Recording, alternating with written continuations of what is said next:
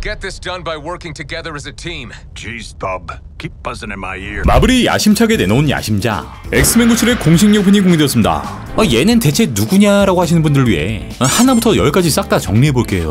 어, 꽉 잡아. Magneto. The last will and testament of Charles Xavier. Everything he built now belongs to me.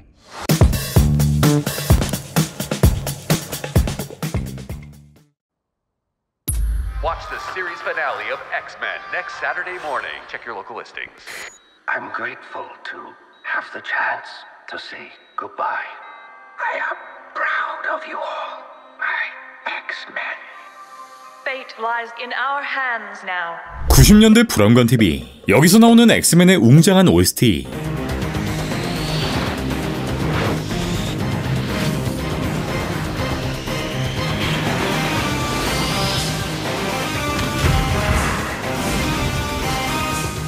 매주 토요일 방영되었던 그때 그 시절 그 향수를 그대로 재현합니다. TV엔 그 당시의 비디오들 엑스마스 스페셜과 카툰 엑스맨 Days of Future Past도 보이고 TV 왼편은 사이클롭스와 진그레이 행복한 둘의 모습이 담긴 액자가 보이는데 이건 저기 미국 행님들의 밈으로 유명한 그 짤 둘을 바라보는 슬픈 울버린의 그 액자 되시겠고요.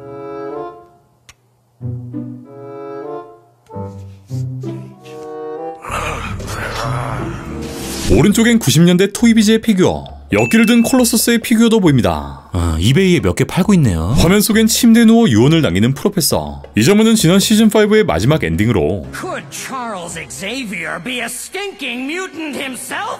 Let's move it. 찰스는 공격을 받고 의식 불명 상태에 빠지지만 엑스맨 멤버들은 매그니토에게 도움을 요청.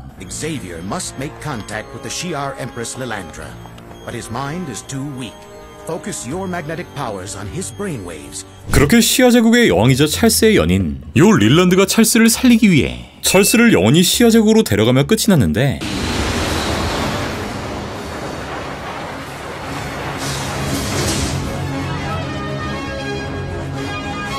어, 일단 요 장면을 자세히 보면 사이클롭스가 징그레에게 은근슬 젖을 시전하고 애들 얼굴은 개판 디테일이 굉장히 조악하다는 걸 알 수 있는데 야 울버리는 그 한번 삶았냐? 사실 엑스맨 시리즈는 시즌4에서 종료 예정이었지만 이게 생각보다 훨씬 더 엄청난 인기를 끌게 되었고 그렇게 시즌5의 제작이 강행된 것인데 하지만 기존 작가진들은 이걸 예상할 수 없었고 먹고 살기 위해 이미 다른 일들을 하고 있었기에 결국 5화부터는 이렇게 애들 얼굴이 뭉개져 버립니다. 야, 아무리 그래도 이건 좀 심했다.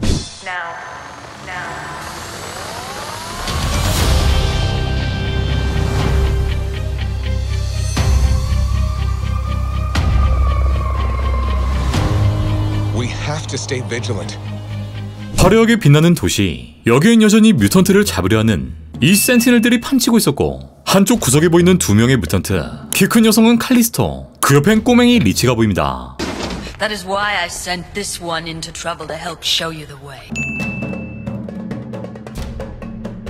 힙 스케이트 파티의 유리창은 모두 박살이 나 있고 그 앞엔 버려진 스케이트 또 한 장의 신문이 펄럭이며 지나가는데 바로 오랜만에 보이는 데일리 뷰글 기존의 레이아웃 디자인과 동일한 형태를 보여주고 여기엔 mutant 패션쇼가 열린다는 헤드라인 뉴스와 더불어 위쪽엔 스파이더맨이 mutant인가 또 헬파이어 갈라에 대한 뉴스가 보입니다. 일단 여기에도 스파이더맨이 존재한다는 걸 알 수 있는데 이들은 이미 한 차례 크로스오버를 한 적이 있었지만 you.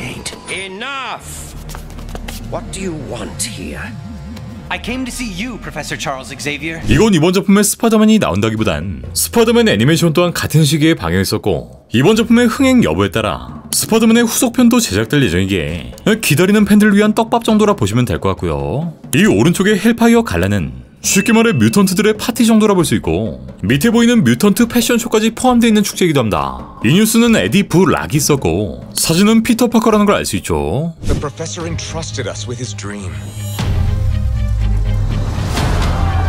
다음은 프로페서를 추모하는 테이블. 그러니까 지구상에 사라진 찰스가 사망 처리되었고 여전히 mutant 반대 시위가 일어난 모습. 여기엔 FOH라는 글자의 로고가 보이는데 이는 시즌 1의 반 mutant 단체 Friends of Humanity라는 걸 알 수 있습니다.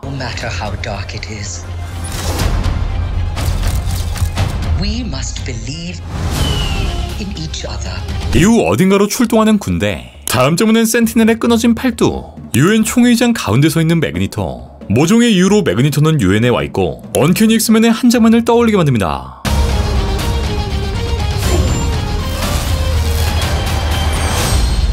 We get this done by working together as a team. Jeez, Bob. Keep buzzing in my ear. 이후 한 장소에 들어선 엑스맨들 사이클롭스, 겜비, 스톰, 올버린까지 엑스맨의 간판 캐릭터 등판 XZ에 사이좋게 앉아있는 엑스맨들이 보이는데 여기엔 얼마 전 더 매블스에 나온 비스트 We were hoping you could tell us. You somehow crossed through a tear in space-time. You are now in a reality parallel to your own. Which of course 추가로 3명의 쩌리들이 뒷자리에 앉아있습니다 얼굴이 창백해 보이는 이 친구는 모프 이렇게 자유자재로 외형과 능력을 따라할 수 있는 캐릭터로 오리지널 캐릭터로 시즌1에 등장했다 사망 근데 죽이고 나니까 생각보다 인기가 너무 많아가지고 시즌2에 다시 부활한 친구이기도 합니다 뒤에 클럽씨는 과거의 그 모습 그대로 등장하죠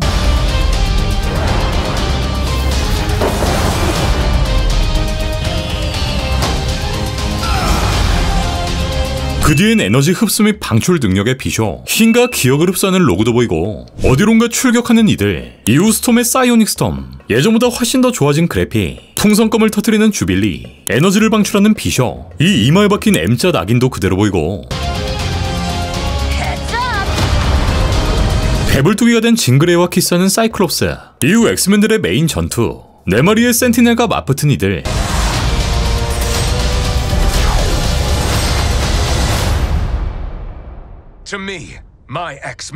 달려가는 울버린 위에 겜빗이 올라타고 울버린의 뽑아든 발터. 아니 손톱인가? 이 클로의 에너지를 때려 넣는 겜비 이어지는 사이클롭스의 단골 대사.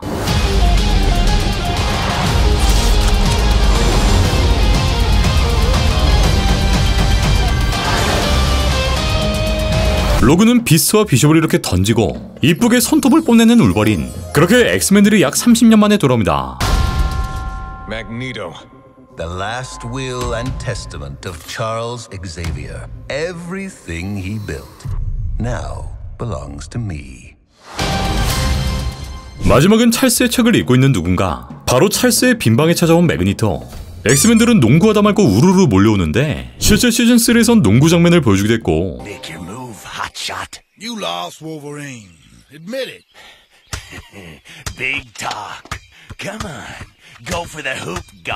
이렇게 코믹스에도 등장한 바 있습니다 그렇게 다시 매그니토와 맞붙은 엑스맨들의 모습을 끝으로 엑스맨 97의 예고편은 모두 끝이 납니다 어린 시절 TV 틀면 나오던 고 시리즈 92년부터 97년까지 6년 동안 방영되었던 이 레전드 작품의 후속편이 대략 30년 만에 다시 돌아왔는데 일단 여전히 mutant를 없애려는 집단 mutant를 반대하는 자들과의 대립이 이어지고 사라진 프로페서 X 그로 인해 존재감이 커져버린 매그니토 더 나아진 엑스맨들까지 이번 작품의 시청 등급은 TV14 아 근데 잼민이들 보라고 만든 거 아니냐? 메인 빌런은 미스터 시니스터. 전작의 스토리를 그대로 이어간다고 하는데 어, 개인적으로는 이번 작품을 통해 향후 MCU 엑스맨 등판에 많은 영향. 또 그 스토리 또한 어느 정도 연계를 보여주지 않을까 싶네요. 엑스맨 구칠은 과연 우리의 추억을 그대로 살려낼 수 있을 것인지 이 작품의 성공으로 스파이더맨도 부활할 수 있을 것인지 엑스맨 구칠은 3월 20일 공개됩니다